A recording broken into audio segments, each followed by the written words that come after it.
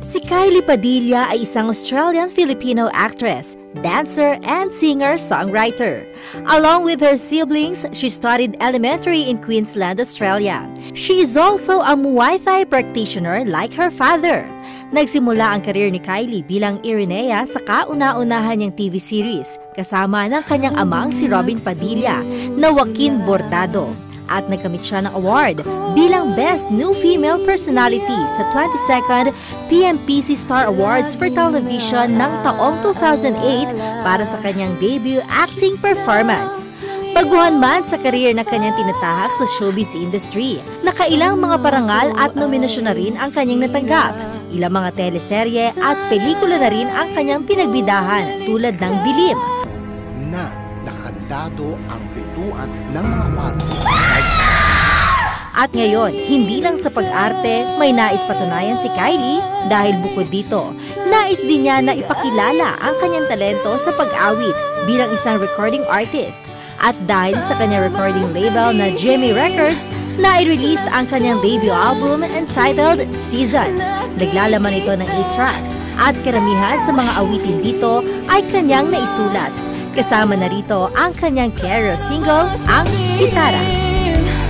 Na-miss na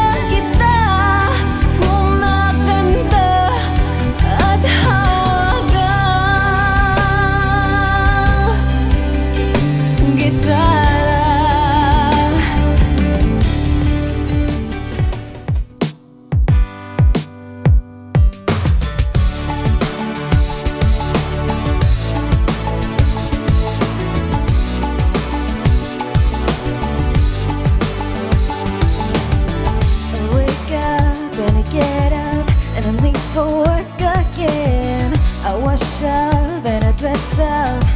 This is how life is again. And I walk the streets. I'm listening to my favorite beats.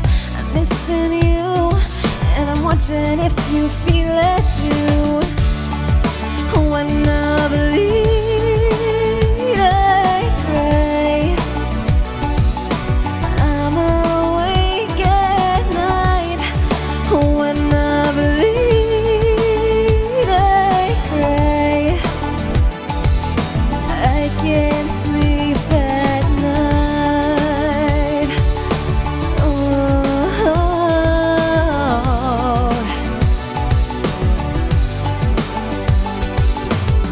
When I go home, I feel tired.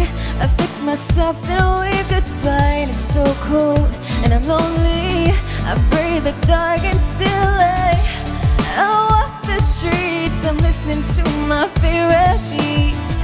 I'm missing you, and I'm wondering if you feel it too.